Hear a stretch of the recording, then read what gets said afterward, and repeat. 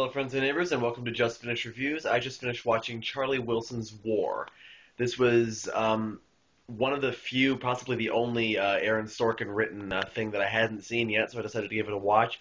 Um, and I enjoyed it. It's a good movie, uh, and I did enjoy watching it. Everything that makes Sorkin Sorkin is, is in the dialogue and everything. Um, but I felt like this movie was really short of its potential.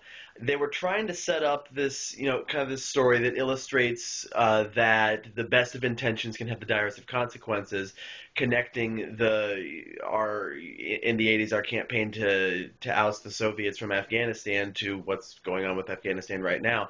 Um, and they, they made that point like it was there at the end, but it just wasn't as strong as I think it could have been. I think they went for the happy ending rather than you know the solid statement of the message. So I enjoyed it. It was a good movie, but I think it could have been a great movie if they you know, went in that direction a little bit more.